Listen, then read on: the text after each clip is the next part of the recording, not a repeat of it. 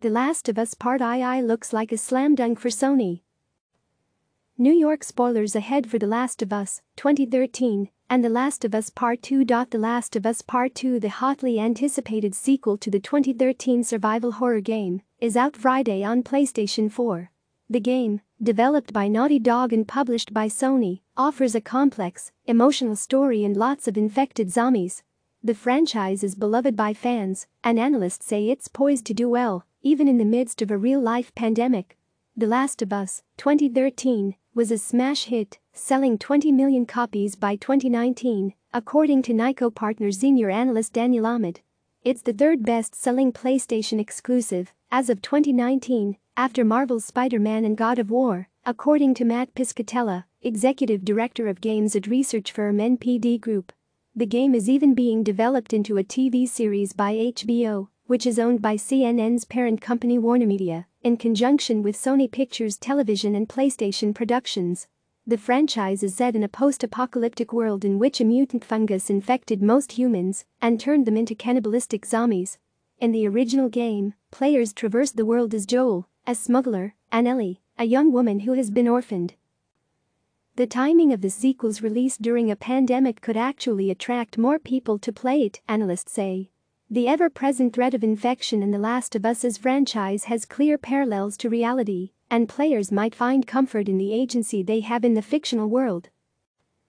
The Last of Us Part 2 continues the story from the end of the original game, where Ellie was revealed to be immune to the disease, and her cells could unlock a vaccine, although the procedure to harvest her cells would kill her.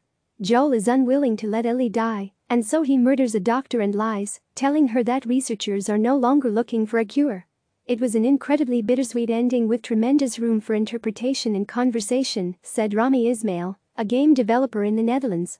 From what we've seen so far, The Last of Us II does not seem to hold any punches and once again showcases the improbable level of craft and borderline unhealthy levels of effort by its creators. Part 2 of the story picks up five years later where almost immediately Ellie embarks on a mission to avenge a person dear to her. As in the original, players switch characters throughout the game and experience different perspectives, from Ellie to another character whose actions may be difficult for some fans to stomach. Amid the gunfights, explosions and zombies, the game also has cinematic cutscenes that deepen the player's connection to the characters. When Ellie tells Dina, her new companion and lover, about her zombie bite mark and how she's immune, she doesn't take Ellie seriously. It's a tender moment within a post-apocalyptic world where there are few humans and most buildings are in disrepair. While the game falls under the shooter genre, ammo is a scarce resource, so players focus on outmaneuvering zombies through stealth and on character interactions that further the narrative. The game will run on the PlayStation 5, which will be released this holiday season. David Cole, an analyst at research firm DFC Intelligence, said that will be to Sony's advantage, given how the original Last of Us was released on the PlayStation 3 and then remastered for the PlayStation 4. Sony releasing an enhanced PS5 version not only gets people to buy the game again but also buy a PS5, he said. Why fans love The Last of Us is The Last of Us franchise heavily relies on cinematic elements and emotional narrative, and this depth of storytelling is attractive to its devoted fanbase. Joost van Dreunen, founder of video game investment firm New Brooklyn, told CNN Business, the games industry has long suffered from Hollywood envy, and titles like The Last of Us are among the few that show that video games can deliver an equally compelling experience. Dreunen expects The Last of Us Part 2 will be a slam dunk and a blockbuster hit for Sony. Julia Singh, 21, a graphic designer in New York, who played the original, and has already purchased Part 2 explained why she loves the franchise.